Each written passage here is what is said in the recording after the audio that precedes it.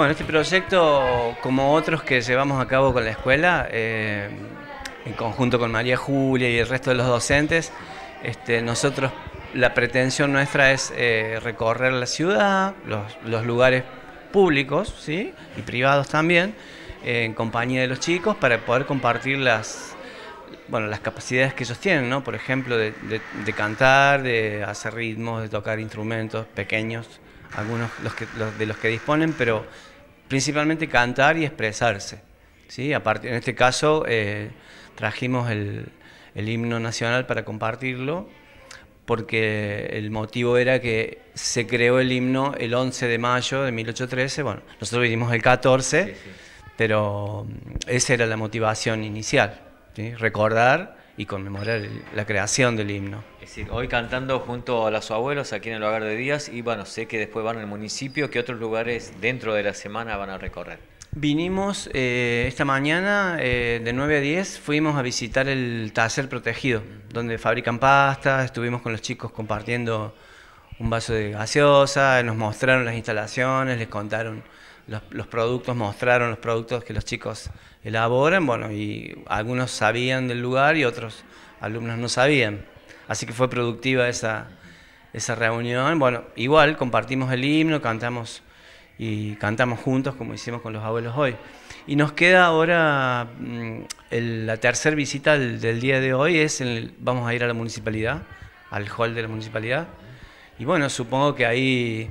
Eh, habrá gente que entra y que sale, bueno, y los empleados y quienes, quien se presente, lo compartiremos con ellos. Además sirve, digo, por un lado, para recordar una fecha tan importante como esta canción Patria, por otro lado, que los chicos también vayan reconociendo distintas instituciones que son de, de bien público o privadas.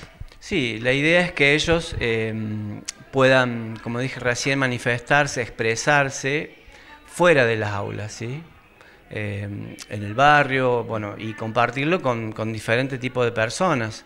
Yo creo que eso los nutre a ellos fundamentalmente y, nutre a, otras personas que no están habitualmente en contacto con alumnos, ¿sí? con la actividad escolar. Eh, por último, Carlos, ¿sería la municipalidad el último, eh, digamos, institución de hoy o van a ir también la semana a otro lugar?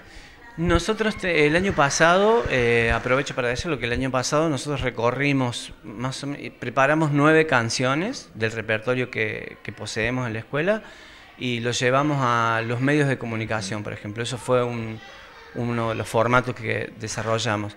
Y este año, bueno, creo que lo vamos a reforzar yendo a otros lugares, por ejemplo, a otras escuelas de la, de la ciudad. Este, yo, yo contacto con los demás profesores de música de las otras instituciones, bueno, y el, la idea es esa, el plan es ese, que podamos intercambiar con otras escuelas en espacios públicos, no dentro de instituciones solamente, sino en la plaza, en la terminal, eh, en la calle misma, ¿sí? hacer estas actividades en la calle me parece, yo estoy convencido de eso, de que, de que aparece público que que uno no, uno no, espera que esté. Son como, como público casual, ¿sí? podría decirlo así. En este caso, bueno, sabemos que venimos a trabajar con los abuelos, con, los adultos mayores, como con los chicos allá en el taller protegido, pero en la calle es como una especie de, misterio, quién sabe, ¿no? Puede haber gente como no, pero siempre hay gente caminando y los transeúntes creo que se sorprenden, tienen, tienen algo de, de lindo eso, muy lindo.